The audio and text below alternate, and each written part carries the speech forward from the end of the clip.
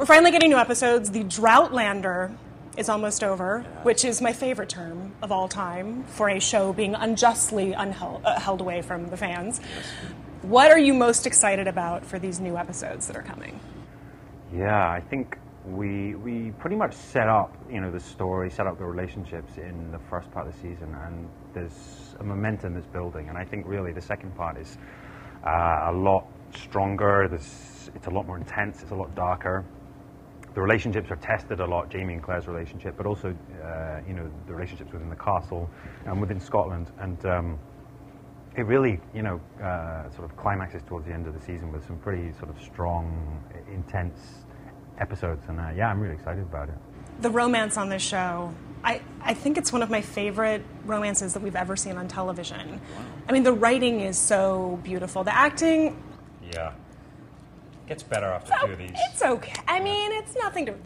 You and Cait are amazing. You have amazing chemistry. But what do you think it is about Jamie and Claire that the fans have responded to so much? Even people who haven't, you know, read the books or are just watching the show, what do you think it is about them together that is sort of so intoxicating? Yeah, I think um, it's a, it's a new relationship, um, but it kind of comes out of a strange place that you know he um, he's a virgin. He's he's obviously got experience with women, but it's you know not like her. She's coming from this very strange place that she's uh, she's married in the future. She um, she's in love with Frank, and she's met this other person that's brought something completely different to her life, and. Uh, I think it's the journey that, that they go on, these two characters going together, that, you know, the viewers are there with us experiencing it as, as, as, as those two characters are. And they're, they're constantly learning about each other and, and their marriage is developing. And we see in this first episode back that he obviously has very different beliefs than she does because he's living in the 18th century, she's from the 20th century. Um, and without giving anything away to the fans, you know, we do see him start to sort of change his idea of the world and how you should be treating women and sort of how that dynamic is. I feel like that's a really profound statement on just like what love can do, you know? That he's willing to see things more the way that she does.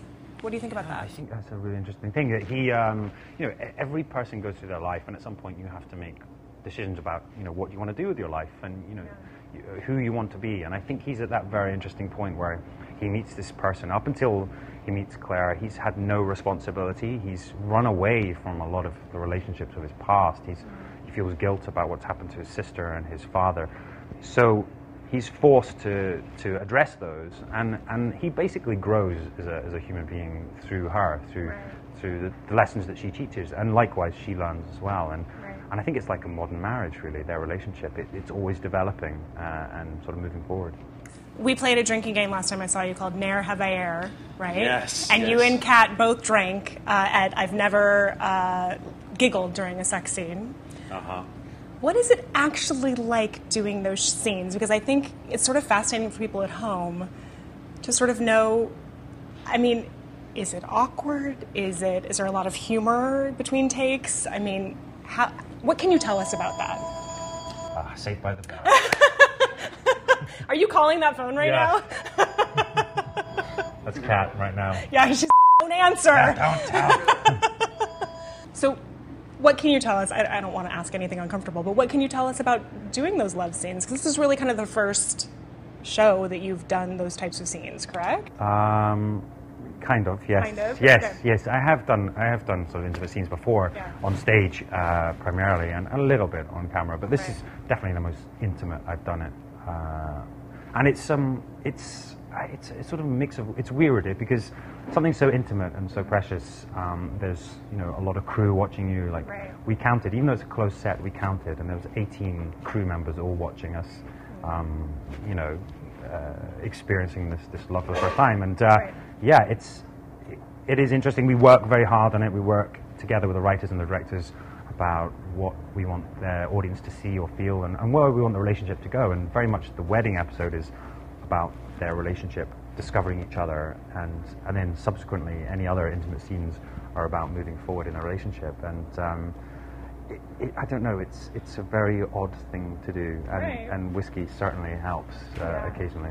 I really didn't want to sound nosy, but I do think it's interesting for people at home because it's obviously a very specific and different experience than most people have had. If you're not an actor and you've never done that type of thing, you know, I think for people at home watching, it's just, um, and, and they're so well done. It seems like there's a lot of choreography involved as well, right? It's, it, Yeah. it's uh, scarily very technical. Yeah. Um, we do rehearse the scenes and we go, okay, I'm going to do this because you kind of have to warn that person what you're going to do and Right. I'm going to replace my hands or whatever. And Right. but also um, then you can't just be technical. You know, you have to be quite open as an actor and you know really live it and feel it, and and, and that can be uh, quite scary. Um, but ultimately, we trust each other and uh, we trust our crew and the and the director, and, and I think it you know with the right level of concentration and and uh, care, I think it you know it really works. How would you describe your and Cait's relationship behind the scenes? It seems like you guys laugh a lot. Terrible, yeah. Ter- oh, terrible. like- Thankfully, you're finally giving us a real like answer. A real marriage, yeah. no, she's the ball and chain. No, she's fantastic. You know, Yeah. she's really cool. And Yeah. uh, We have a lot of fun. I really trust her. She's uh, an incredible actress. She's a very warm personality. She's always upbeat. Uh, I can I can tell if she's not happy. There's I can just feel it. But she's um you know I think everyone loves her and uh, yeah it's, I'm just very very lucky that you know we have this great relationship. Now we know there's going to be another season. Congratulations. Thank you very much. Probably multiple more seasons. I'm thinking. Oh, let's hope so, yeah. Yes, um, and we know in season two you're going to need to learn some French. Have you started learning that French? Um, petit peu. could, you, could I could I could I give you just one phrase here that Uh I oh, oh God. I just wanted to help you with your French here? I have no vested interest in this. Okay. Uh, I'm gonna have a drink while you do this. okay. Vous êtes la plus belle fille du monde. Uh huh. You can read that right there. Uh, I think I might need a bit more whiskey before I do this. Vous êtes la plus belle fille du monde. Very very nice. And, and this one right here. Vous êtes. wait a minute. You don't know what that I know, means, I do know what you? that means. Yeah, you won't catch me out.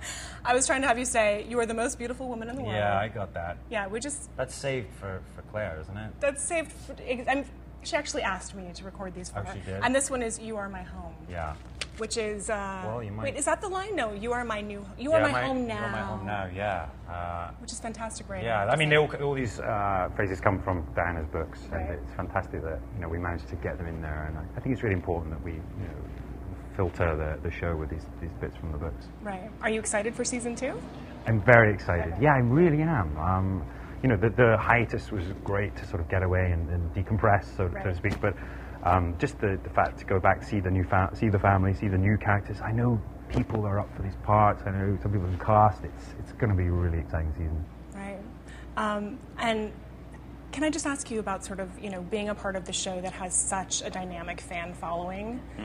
What has that meant to you? And did you?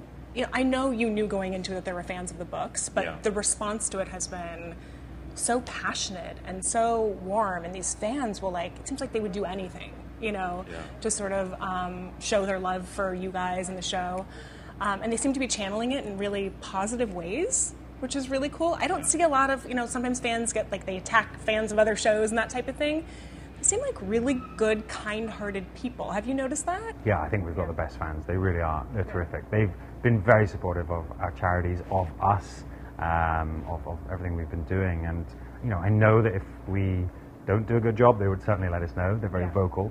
Um, but yeah, no, they've been terrific. We all have our own charities. I just did my Peak Challenge, which is a sort of fitness event that I started uh, last month, and um, we raised over fifty thousand pounds for, for charity, and uh, they're just wonderful. Yeah, they, they support us a lot. You just ran the marathon. I did. Congratulations. Thank you very much. Um, and have you always been really fitness minded? Or is it sort of by proxy, you know, in this show? Sometimes you are scantily clad.